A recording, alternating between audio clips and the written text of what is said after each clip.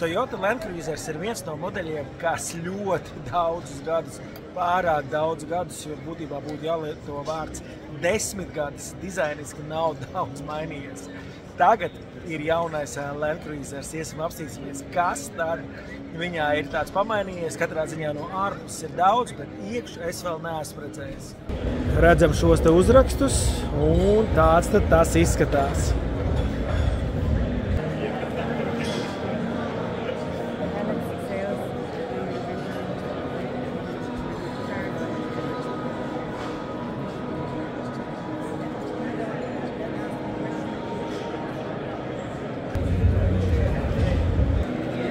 Jā, redzam, aizmugurē. Man, nezinu, pirmās asociācijas ar uh, Pajero. Bet īstenībā, ja paskatīties pirmās bildes no Land Cruiser, tad dizains ir ļoti līdzīgs kāds tas bija hmm, 70. gadsimta sanāk. Viņš vēlāk. Jāpaskatās prezentācijas materiālos, bet uh, viņam ir divas versijas. Ir ar kantainiem lukturiem, un tas, ko mēs atceramies, nu, daži atcerās, ir ar apaļajiem lukturiem. Nu, ejam skatīties, kas tad ir iekšā. Sākam ar aizmuguri, kur uzrakst.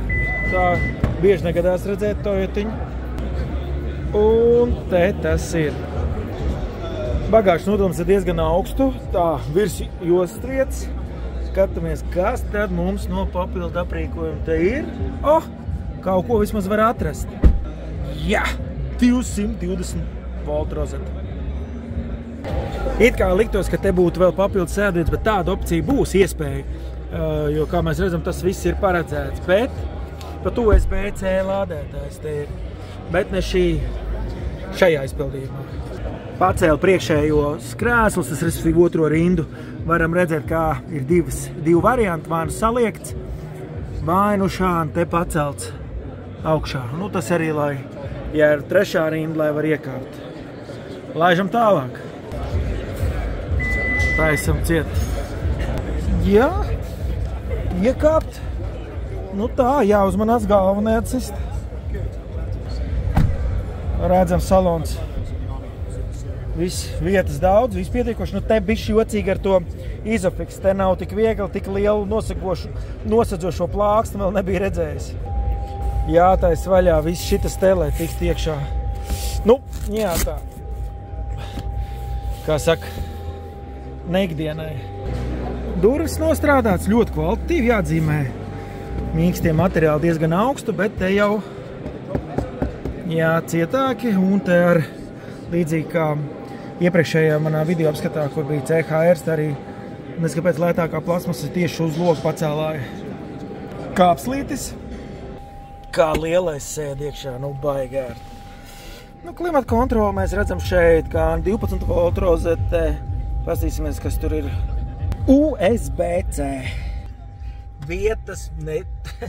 pietiek, tas nav pateikt. Nu, te ir viss, te viss ir daudz, tā kā tā arī jābūt Land Cruiserā, ir visur daudz vietas. Tāds mums izskatās salons priekšpusē. Diezgan liels divas planšetes. Arī instrumentu panelis, protams, digitāls. Un iesim sīkāk.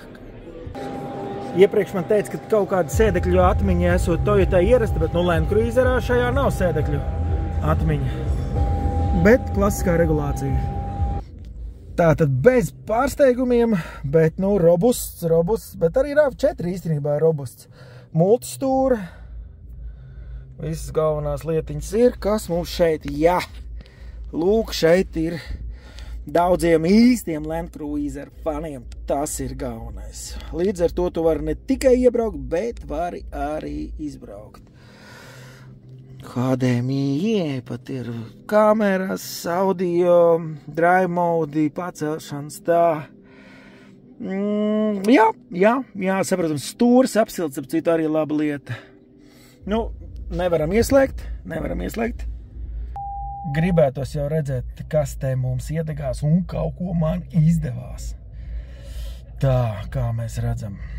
Jā, pastīsimies, kas tur vēl ir pa režīmiem. Ļoti labi izskatās karte, ātri atbild. O, tas laikam ir labākais, ko Toyotā es esmu redzējis. braukšanas dati viss ir nodzēsti. Nevar redzēt, cik ir patēriņš bijis. Rekord Raimond sports, normāli un eko. Viņš krāsiņas arī pamainās. Sanāca tikai piesēsties pie jaunā Land Cruiser stūras, bet ne vēl izbraukt. Un līdz ar to par braukšanu pateikt neko nevaru. Gaisa padeva ļoti labi, kā saka, regulējās, bet neatstāja tādu, pareizāk sakot, atstāja tādu nelielu fēnu iespēju. Pats galvenais, lai ir kur pieturēties. Nu, un augšā, laikam bez pārsteigumiem, sospoga, gaismas un viss. Šitas gan ir īpatnē, pasties, tā lēt uztaisīts, bet, nu, to jau vienmēr var norakstīt īstiem vīriem jau nevajag. Tēri neko lielu nav noslēpuši, izņemot, ka tu vari ieslēgt augstumu ar coolbox. Tāds mums izskatās Land Cruisers no iekšas. Land Cruisera apskats ar to arī noslēdzies. Ja tev patīk šis video, spied laiku un mazais padoms ir tāds, ka ja tu redzi šo video jebkurā sociālo tīklu platformā, izņemot TikTok, tur grūtāk ir pielikt saiti. Tad YouTube un Facebookā noteikti ir saiti.